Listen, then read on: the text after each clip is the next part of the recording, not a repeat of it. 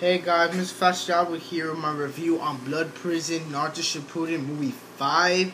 Let's get started. I really, really enjoyed this movie. I've been waiting about a year since it was announced in Japan and it came out in Japan in April. And it was a great movie. You guys should watch it along with I watched the um, the special of Naruto vs. Konohamaru, the OVA, the 8th OVA.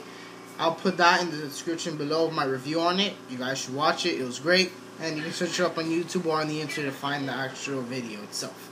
So, this movie was...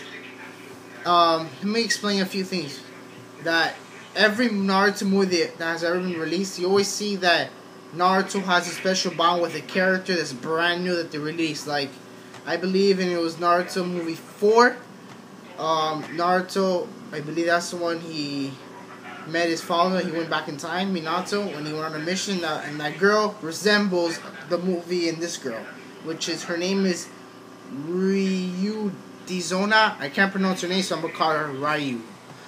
Ryu, which is a woman, or a girl, she was, um, she was in the blood prison, but she was a spy. But I'll let you guys figure that out. Let me just continue my review. It had a lot of blood hence Blood Prison.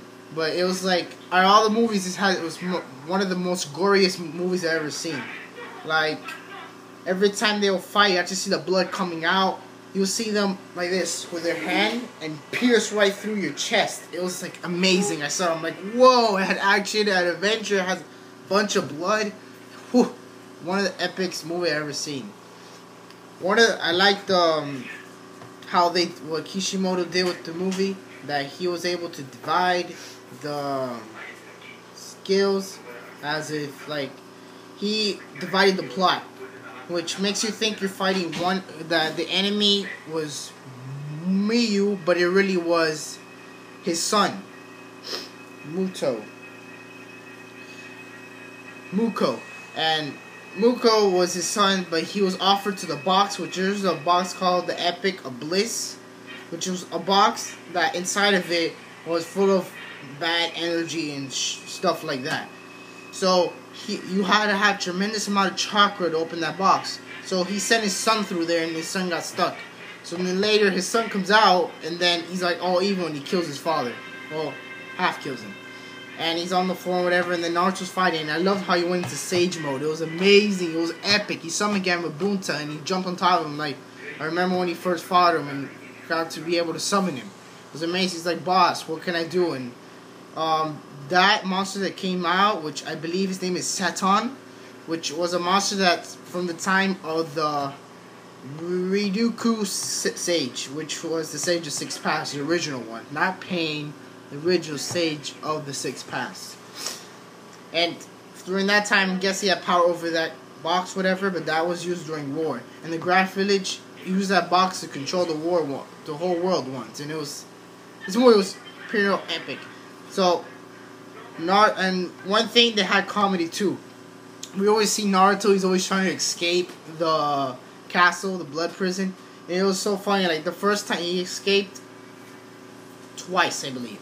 The first time he um, assa- um, some assassin that was under Mui's control comes to take him, and the Naruto goes. He leaves bam, he makes it out the castle. And I forgot to explain these guys to you in the beginning, but Naruto was there because he was framed from a crime that he did not do against the Raikage of the Cloud Village. Um, they wanted to find out about the box, and then he came. And then some ninja used some clone technique to take his form and then, you know, uh, make him guilty of a crime he didn't commit. But Naruto escaping, it was amazing. He left, he got out, he was able to get out. And then he would climb down the bridge from there, and then since the, um, he had a seal on his stomach, the Taisuru seal, which means that it's like stripes like that. And what it does is that it strips you of your chakra, that you're not able to control chakra.